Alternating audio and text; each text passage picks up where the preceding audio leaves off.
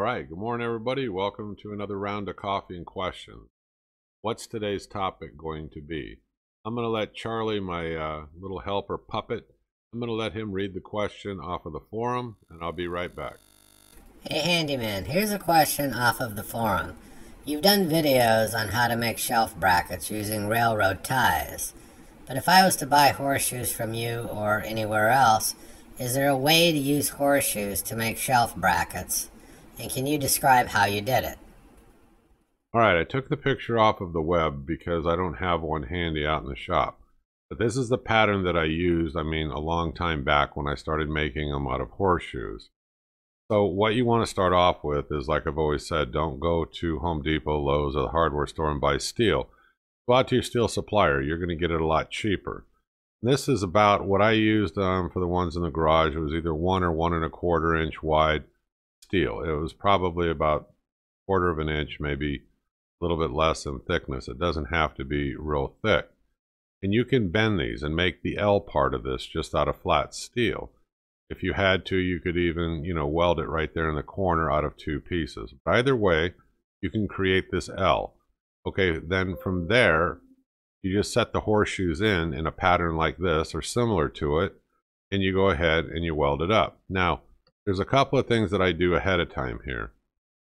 The horseshoes, of course, I've cut the nails off of them. I use a four and a half inch angle grinder cutoff wheel. I cut the nails off. Okay.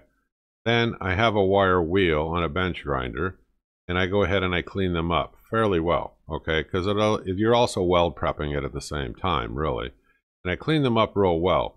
The ones here in the picture you're going to see are a little rusted. You can leave them that way if you want the rustic look, you know, when you're done.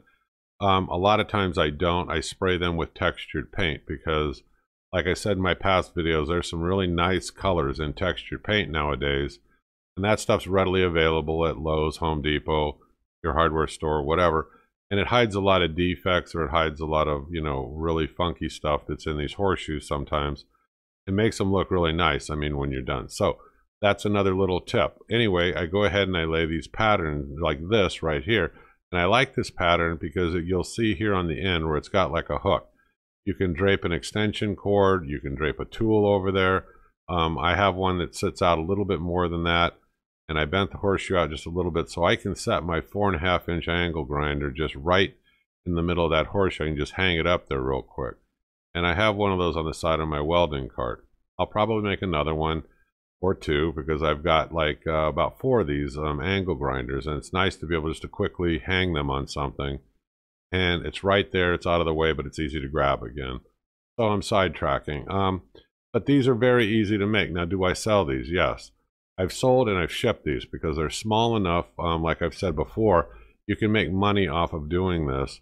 Um, they're small enough to you can put them in, you know, the USPS shipping boxes, the flat rate, and ship them. So, I mean, let people know that you're doing them. Now, like I've always said, I create and keep photos on my phone. When I'm at work, I flip through them, and somebody will say, hey, those are pretty cool. Can you just leave them rusted? Sure, I can leave them rusted and I use Rust-Oleum 2 times Ultra Gloss Clear. You don't have to. There's plenty of other sprays out there. I just kind of favor that Rust-Oleum in particular. I've been using it for a while now. But I always spray them that way the rust and stuff doesn't come off on people's hands or anything like that. And it also kind of preserves that like antique rusty kind of a look. But these are fast. They're very easy to make. All you got to do for the little short pieces, if you take a horseshoe and you cut it in half, if you cut it dead center, you can then hold like half a horseshoe up and figure out what kind of an arc there you want, like you see here towards the bottom or there in the middle. You can add more to this, you can add less. The design's yours. I mean, I, I told a friend of mine when I showed him the picture, and he's going to make them, and he's going to try to start selling them too. It's like a design opportunity. I mean, if you have a different way of doing it, um, drop it in the comment below and then you know let me know what you think or what what are your ideas now i make these two ways i make them like this i've also done a past video where i've made them where i took a railroad tie and i bent it you know and you have to have a way to heat this steel up now i use an oxyacetylene torch setup and i bent them these are easier to do if you don't have you know those kind of tools or a way to heat it up if you don't have a forge if you don't have oxyacetylene you don't have to worry about it with these. These are fast and they're easy to make. After you make one or two of these, I mean, you're whipping these things out, you know. And I tell people, well, I sell them in pairs of twos. If you want me to ship them, I would suggest you buy more than that because the shipping, you can't control that shipping cost. I don't pay it. Uh, whoever I sell it to does. Now, I do sell horseshoes.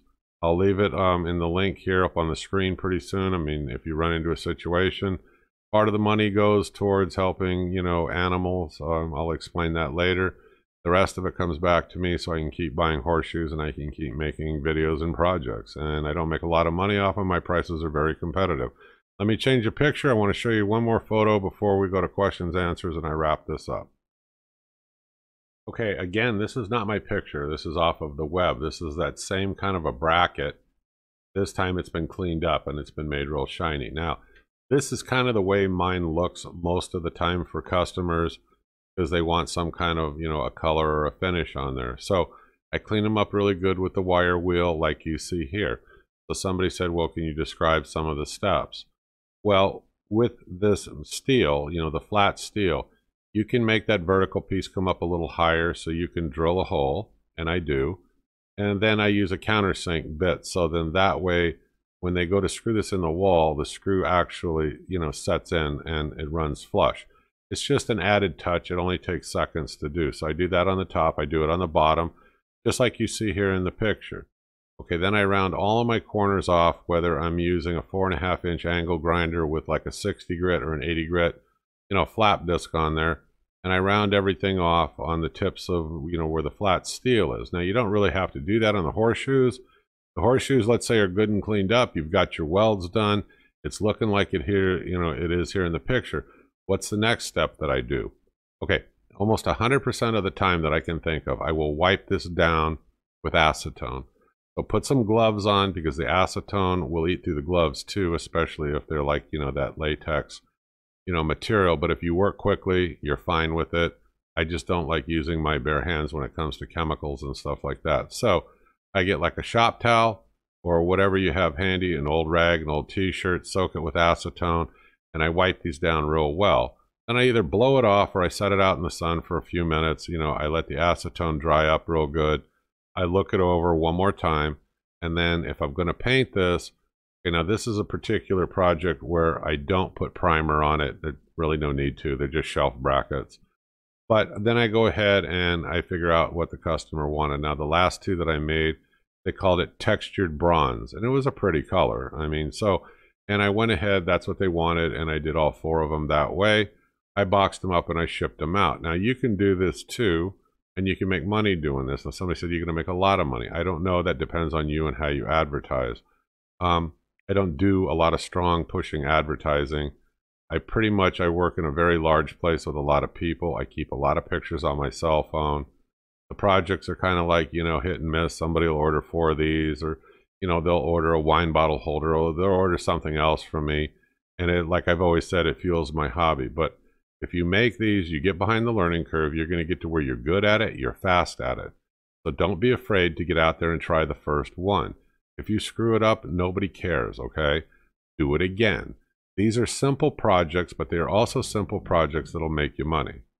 Okay, I'm the home handyman. This is kind of a quick tip video, but I answered some questions.